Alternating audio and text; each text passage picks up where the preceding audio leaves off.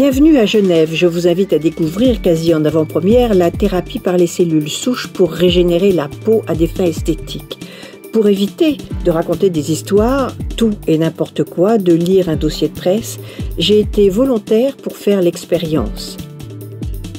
Ça se passe à l'Institut Forever, créé par une sommité de dermatologie internationale, le docteur Luigi Polla. C'est une vraie révolution cosmétique.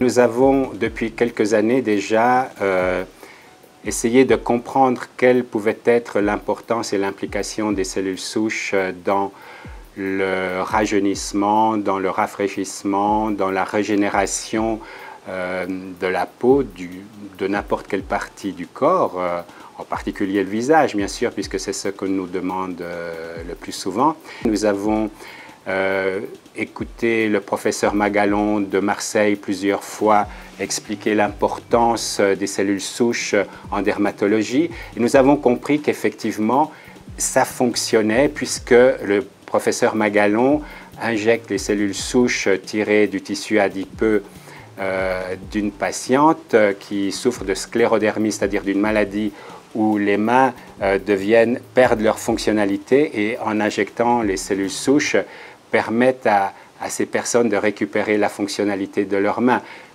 par le truchement de nouveaux fibroblastes, qui sont des cellules essentielles pour la fabrication euh, de la matrice extracellulaire du derme. Et nous attendions simplement que Swissmedic donne son accord euh, pour euh, pouvoir commencer ce, type de pratique chez, à Forever. L'intervention se passe en ambulatoire et commence au bloc opératoire car le geste doit se faire dans un endroit stérile.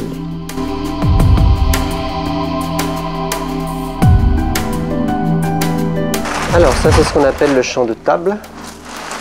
Donc c'est un champ stérile qui va nous permettre de poser tous les instruments stériles sur la table. Donc on est dans un milieu qui est euh, complètement aseptisé ici. Alors, on va prendre la seringue de 30 euh, ml. Donc ça, c'est une seringue avec laquelle on va faire le prélèvement.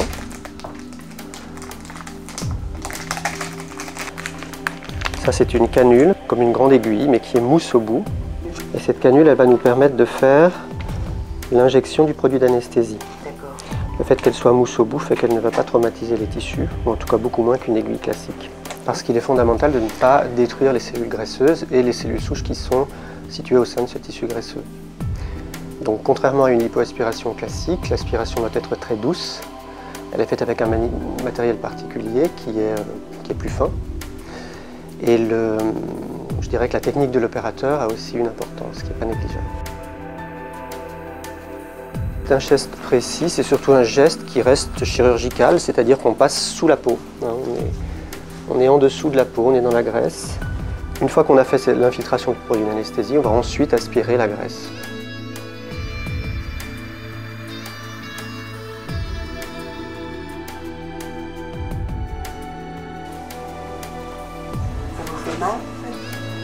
Là, on prend une deuxième canule.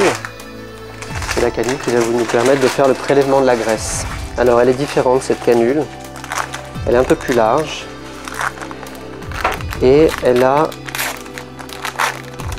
des orifices au bout qui sont plus larges que la canule d'infiltration. Que la canule d'infiltration. D'accord Donc ça c'est proche d'une canule de lipoaspiration en fait. Ah Lorsqu'on fait un prélèvement de graisse pour isoler les cellules souches, on veut abîmer le moins possible la graisse. On peut avoir des gros fragments de graisse finalement, et c'est pas du tout un problème. Donc on a une canule avec des orifices qui sont importants, la graisse va monter facilement. Là on a le prélèvement de graisse, ici on a un petit peu de sérum qui correspond au produit d'anesthésie en fait qu'on a injecté, et puis la graisse est là.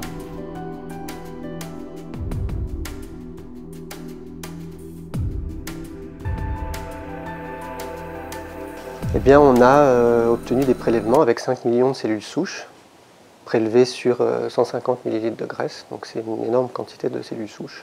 Donc on, pense avoir une technique de prélèvement qui est effectivement performante.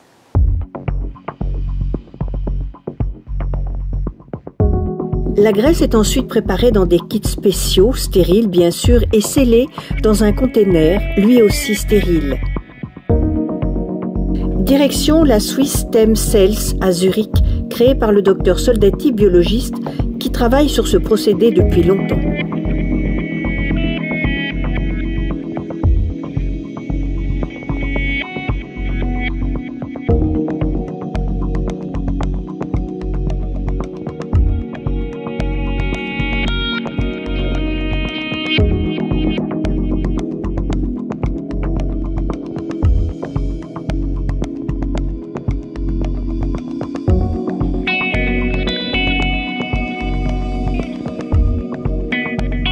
Sur quelle réflexion a-t-il découvert ce procédé? C'est des cellules euh, mésenchymateuses, donc, euh, euh, qui proviennent d'un certain tissu embryonnaire, et c'était en 2009, quand on a créé cette fondation, la Swiss Stem Cell Foundation, qui est aujourd'hui active principalement dans ce domaine, je dirais exclusivement dans ce domaine. Et, et sur quelle réflexion vous vous êtes intéressé à ça? La réflexion principale, c'était que, parce que moi je viens d'un background plus de cellules souches hématopoïétiques, c'est-à-dire les cellules souches qui, se trouvent dans le sang de cordon. la réflexion que j'ai faite, c'est que l'utilisation qu'on pouvait faire des cellules cordonales, c'était une utilisation, je dirais, que je définirais comme rare. Tandis qu'avec des cellules mésenchymateuses du tissu adipeux, on peut aujourd'hui proposer des thérapies cellulaires qui sont actuelles et qui peuvent euh, avoir un impact immédiat sur le patient. C'est-à-dire? C'est-à-dire, par exemple, il y a beaucoup d'études cliniques maintenant sur les maladies neurodégénératives. Et les maladies neurodégénératives, c'est aujourd'hui des maladies pour lesquelles la médecine actuelle n'a pas de vrais instruments ou de vrais traitements à proposer. Et là, il y a des résultats qui sont vraiment encourageants du point de vue de, des cellules souches qui, qui peuvent aussi, disons, faire régresser d'une certaine façon les symptômes de maladies neurodégénératives, chose qui est difficile sinon impossible avec la médecine traditionnelle. Quel est l'avantage L'avantage de ce produit-là, c'est que c'est que c'est un produit qui est euh, pas seulement propriété du patient, mais il est aussi, euh, on dit que c'est un produit autologue, c'est-à-dire c'est mes cellules pour moi, et c'est un produit qui n'a pas d'effets collatéraux, qui, ne, qui est toléré 100% par le patient, qui ne donne pas de rejet. Donc c'est vraiment, disons, on pourrait dire...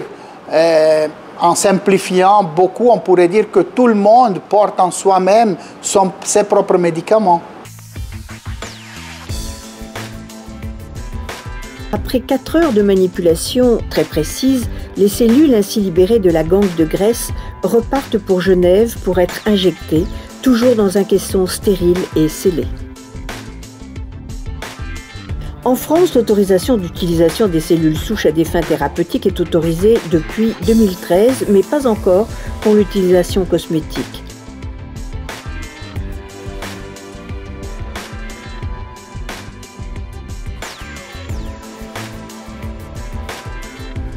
À notre niveau, en dermatologie, on essaie de euh, régénérer la peau, euh, régénérer les cellules de la peau et aider à, à vieillir, on va dire, plus lentement et plus sereinement.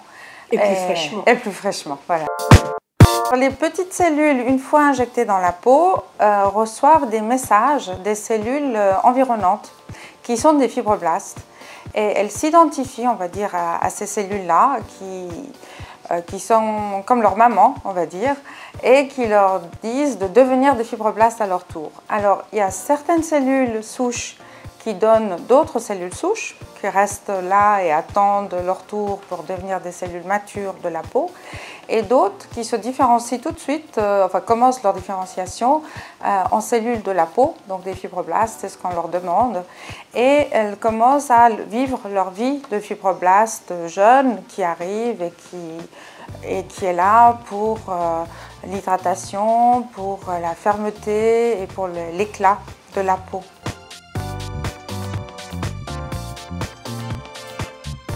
On peut penser qu'à long terme, on aura moins de rides, effectivement, euh, car il y aura une, une, meilleure qualité de la peau et une, un nombre de cellules, on va dire, en bonne santé plus importante.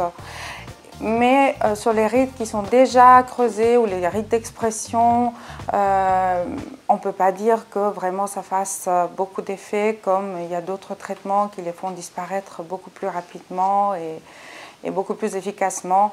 C'est pas tout à fait comparable, mais, mais, en tout cas au niveau de la qualité de la peau, la santé de la peau, ça fait un effet considérable.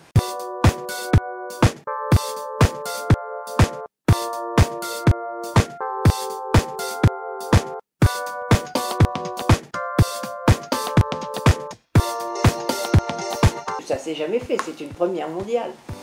Euh, on est, on est très enthousiaste. Oui, oui, oui, on est, on est ravis d'être parmi les premiers à, commencer ce traitement. Euh, c'est un traitement très prometteur. Ça agit au niveau de la réparation, la réjuvénation et la santé de la peau. Euh, ce qui est un peu notre travail de tous les jours ici. On essaye d'embellir de plus en plus par des moyens naturels. Et c'est ce que les patients souhaitent aussi. Et quelque part, euh, on est dans, un, dans une vision anti-âge et dans une vision de, de, santé, de, de régénération, ce qui est très important pour nous.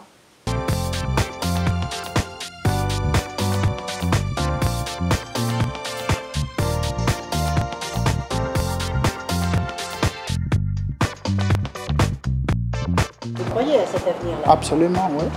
Ce qu'il faut, c'est se faire prélever à 20 ans Ouais. Et se faire réinjecter à 70. Voilà, c'est ce, qu'il aurait fallu faire pour moi, oui. pour finir, un masque rafraîchissant, mais les résultats seront visibles dans trois mois. Je vous tiens au courant, promis, quoi qu'il se passe.